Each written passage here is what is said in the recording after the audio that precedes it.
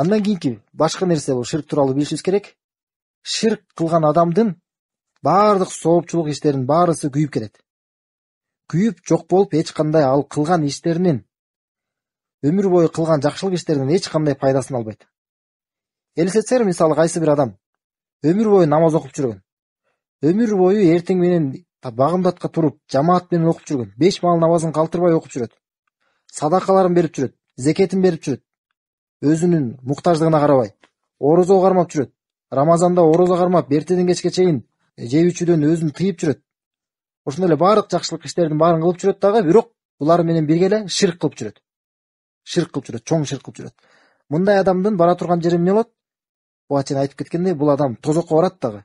Ал жактан эч качан чыкпайт бейишке баруусу арам болот. Аллах тааланы эч качан кечирбейт жана бул кылган иштеринин баарысы эмне болот?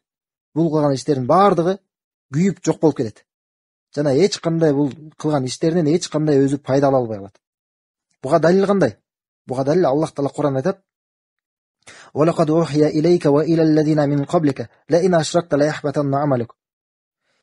Мына сага жана сага чейинки келген пайгамбарларга вахий болуп түшүрүлгөн эле. Аларга эмне дейт?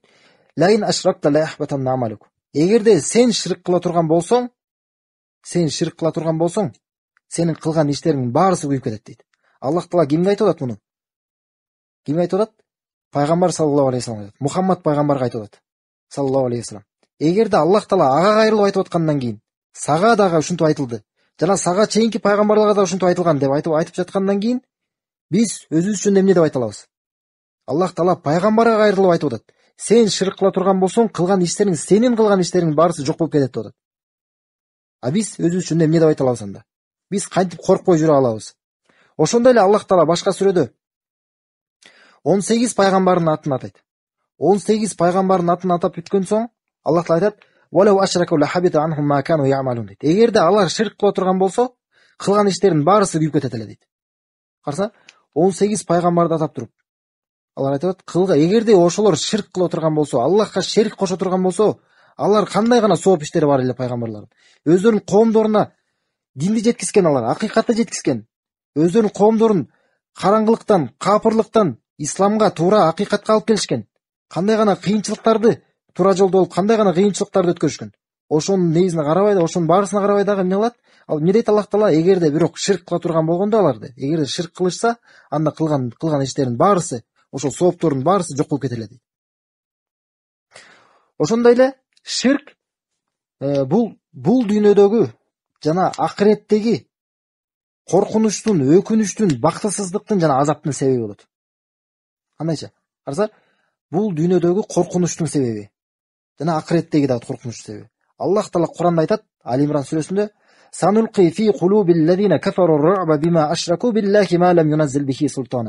капырлардын жүрөктөрүнө алар аллахка ширк кылгандыгы себептүү эч кандай аллахтан далилсиз. Капырлардын жүрөктөрүнө биз чоң коркунуч салып салабыз дейт аллах таала эмне дейт ширк кылгандыгы себептүү капырлардын жүрөктөрүнө биз чоң бир коркунуч салабыз дейт демек адамдардын коркунучунун себеби бул эмне болот экен ширк себептүү болот ал эми ширк кылбай жүргөн адам эч нерседен коркпойт анткени билет жалгыз аллахтан баардык нерсенин пайда зыянын баары аллах аллахтан жана бул аллах таалага жалгыз тобокел кылат дагы эч кимге эгерде аллахтан башка эч кимге сыйынбаса жалгыз аллахка сыйынып жүргөн болсо эмнеден коркот ошондой эле.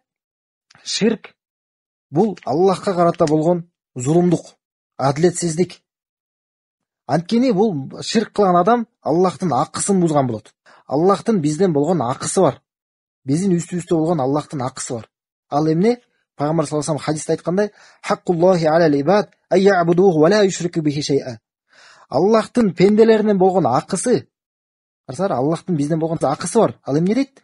Жалгыз аллахка сыйынып жана ага эч бир нерсени шерик кошпогондук дейт биз жалгыз аллахка сыйынсак ага эч бир нерсе шерик келтирбеген болсок ошондо биз аллахтын акысын аткарган болобуз. Аллахтын акысын берген болобуз. Ал эми ошондой эле бул менен бирге эле анан биздин дагы аллахтан болгон акыбыз бар. Ал кандай? Пайгамбар айтат. Ал эми адамдардын аллахтан болгон акысы ал ким аллахка ширк кылбаган болсо аларды азаптабоосу дейт. Биз эгерде аллахка эч кимди ширк кылбасак аллах таала бизди бизди азаптабайт жана биз ошол аллахтан болгон биздин акыбыз болот бул ал нерсе карасаңар ширк кылбагандыктын таухидти карманып жашаганын кандай пазилети чоң да ошондой эле билишибиз керек ширк бул эң чоң адашуу жана бузукулуктун эң акыркы чеги болуп эсептелет. Аллах таала куранда айтат жанагы аятта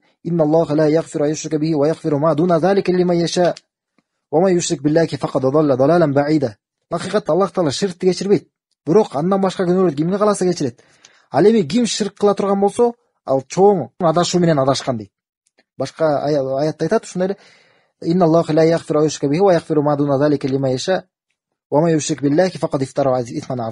Акыйкатта аллах таала ширкти кечирбейт. Бирок андан башка күнөөлөрдү кимге кааласа кечирет?